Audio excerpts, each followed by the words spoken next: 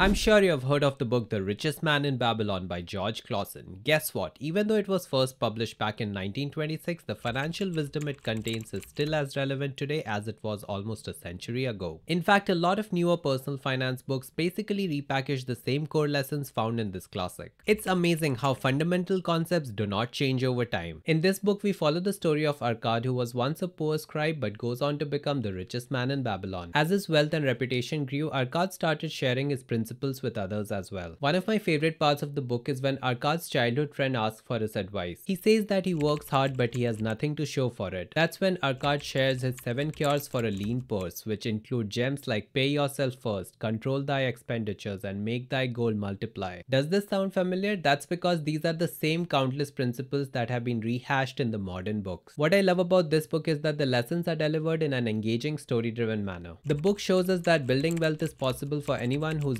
disciplined and follows a few simple rules. In this video, we look at 9 principles or lessons from the book that you may find very useful. Let's begin.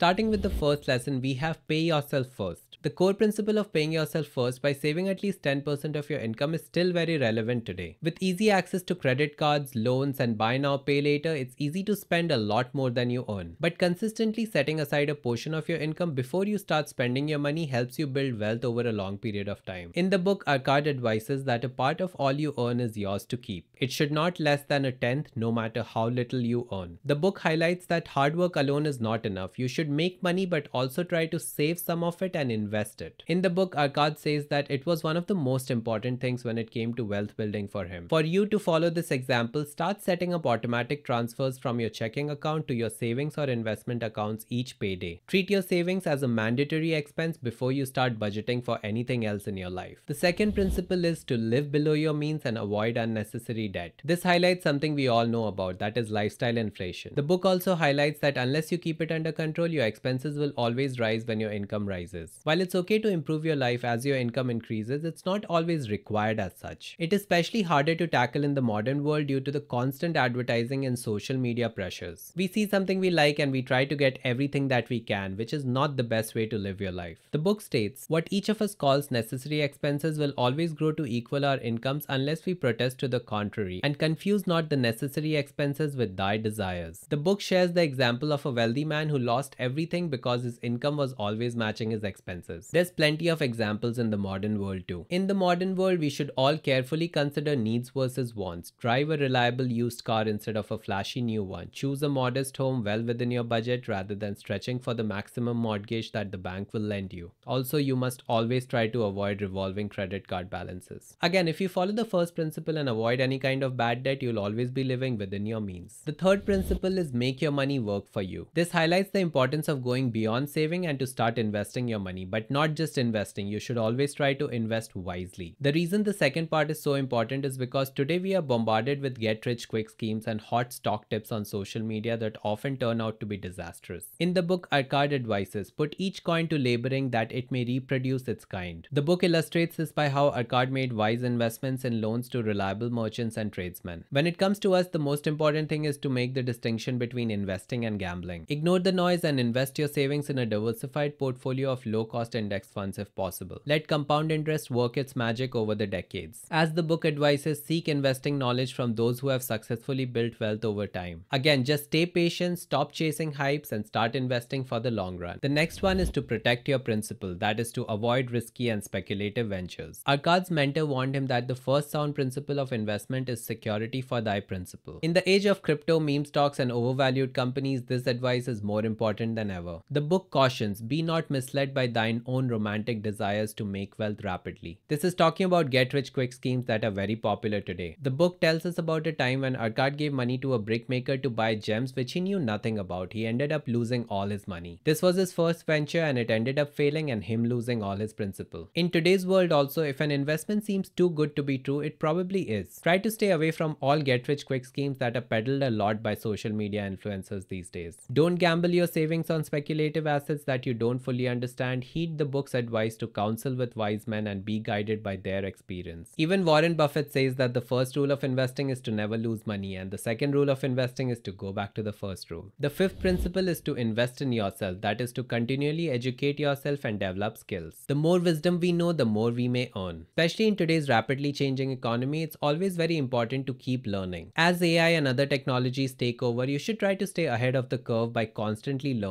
The only way to increase your earning potential is to stay ahead of the curve by putting in the work. The book notes that man who seeks to learn more of his craft shall be richly rewarded. This is illustrated by Arkad's own story of honing his scribe skills to earn more in the first place. When it comes to today's world, read more books, take online courses, and find mentors to improve your skills and stay relevant in your field. You should also be skeptical of people on YouTube and TikTok peddling bad financial advice or selling overpriced courses. Try to seek out reputable and unbiased sources of knowledge and try to experiment to make sure you're learning the right thing. You should remember that growing your wealth is not a thing that you do in a day or a week. It's something that you constantly do throughout your life. The sixth principle is to ensure a future income, that is plan ahead for your retirement. In the book, it's emphasized that you should always plan for your future and for your retirement. You should always try to create different sources of income so that when you're old, you do not have to worry. This is even more important today because people are living longer and relying a lot on the money that they have earned in their previous years. The book states provide an advance for the needs of thy growing age and the protection of thy family. In the book, it's seen through the lens of a man who consistently saved and invested his money. So when it comes to us, we should also do the same. Start saving for retirement as early as possible, taking advantage of any employer sponsored plans. We should also consistently invest in individual retirement accounts. Consider diversifying your retirement portfolio with a mix of stocks, bonds, and other investments to balance risk and return. Also, never fully rely on social security. Take care of your own destiny. The next principle is to seek wisdom and advice from experts. Surround yourself with knowledgeable mentors. I believe this is one of the most important things that we should know about today. There are plenty of people giving financial advice all over the place, so you must choose your mentors very carefully. Now, this can differ a lot when it comes to today's world because we can find mentors and people to learn from online as well. In the book, Arkad generally advises that you should always try to learn from experienced people and not from people selling you something. Counsel with wise men, seek the advice of men whose daily work is handling money. This is actually shown very well in the book because a lot of people were coming to Arkad for his experience knowledge.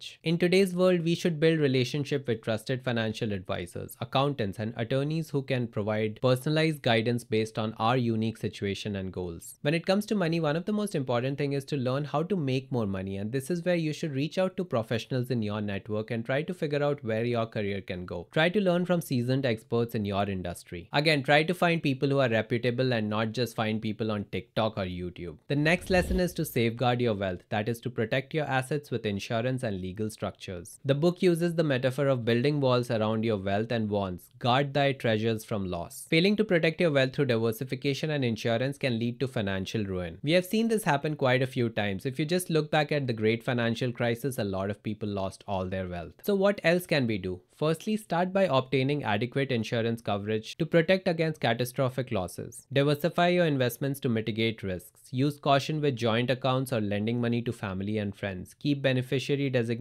up to date. As soon as your wealth reaches a certain point, also have a will and estate plan in place. You should always be taking proactive steps to make sure that your wealth is not taken away from you or your family. The last principle is to cultivate a healthy money mindset, that is to understand the role of both luck and effort. The book continually states that having the right attitude and habits around money is the key. Arkad says good luck can be enticed by accepting opportunity. Where the determination is, the way can be found. We see different characters in the book who attribute their success not to chance but to determination and hard work. So what can we do? Practice gratitude for the resources and opportunities you have while taking responsibility for your own financial decisions and outcomes. Basically, you need to stop blaming others and take charge of your own finances. You should also reject limiting beliefs like I'm just not good with money and instead focus on small consistent actions that you can take to improve your situation. You should also try to celebrate your progress along the way. Finally, you should surround yourself with positive and financially savvy influences. You need to believe in your own ability to continuously learn and grow. Again, always keep reminding yourself that cultivating the right mindset and having a long-term perspective is the only way to build wealth. What I really like about this book is that it's very simple and easy to read. It's a few pages full of golden nuggets that can serve you for the rest of your life. This book delivers a lot of knowledge through relatable storytelling that you can understand and follow quickly. So even if you have watched this video and are still looking for a quick and enjoyable read, pick up a copy today. Whether you are just starting out your financial journey or looking to reinforce some of these principles, this book can be very helpful. I'll see you next week in a new video. Till then, keep learning and stay on top of your finances. Until next time.